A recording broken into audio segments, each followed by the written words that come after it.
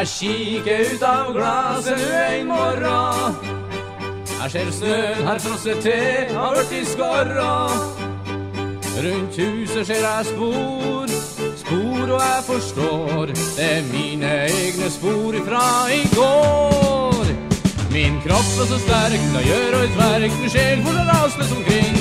Men den som drar ut, kan havne til slutt heim fra en vandring.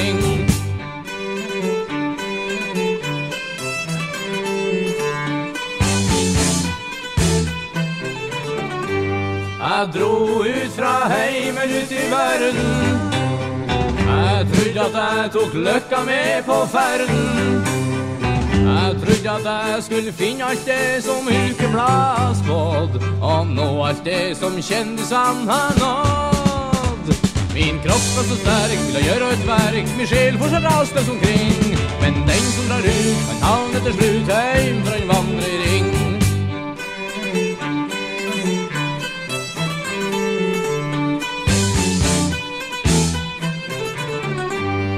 Jeg gikk på skole, leita etter svar. Jeg bladde i bøker, fant ut hvem jeg var.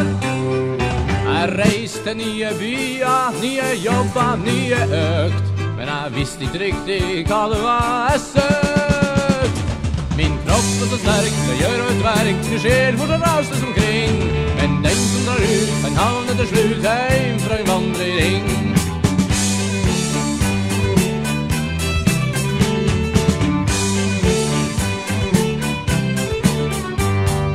Leita etter rom og sett min fot. Jeg leita etter jord for å skyte rot. Jeg leita etter plassen der jeg kunne leve og nyte. Sett ryggen på, ta i og yt. Min kropp er så sterk det gjør alt verk, min sjel for så rasende omkring. Men den som drar ut, havner havne til slutt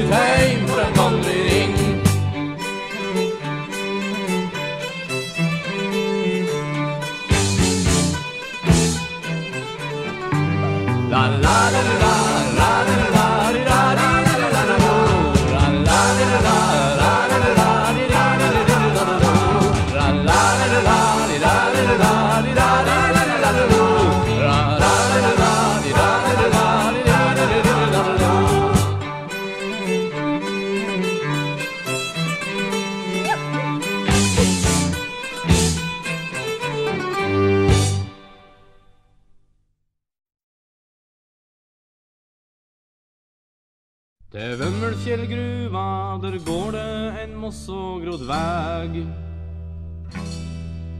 Over myri så dryg, over rosa så tung og seg.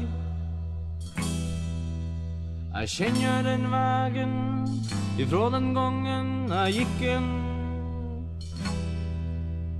Tre timers gange til fots ifra folkeskikken.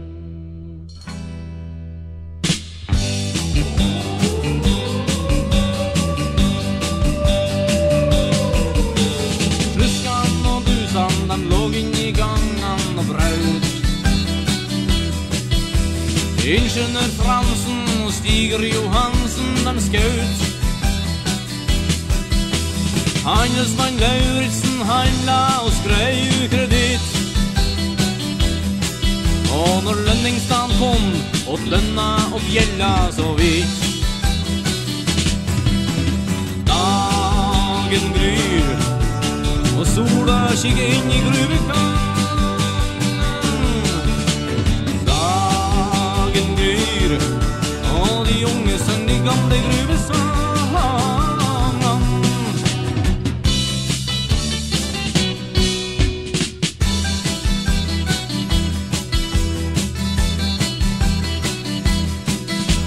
Bonden han sov på busen mest som en faen. For oss kommer bondtøs heim og skulle ha busebarn. Og oss kom besøk opp i gruva fra gård og grend.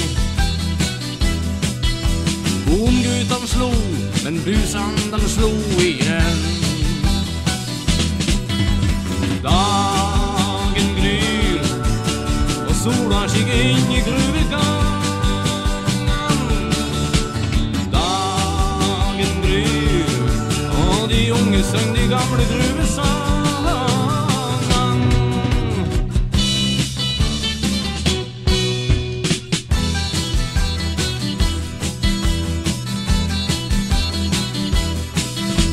gruva vart første arbeiderbevegelsa skapt.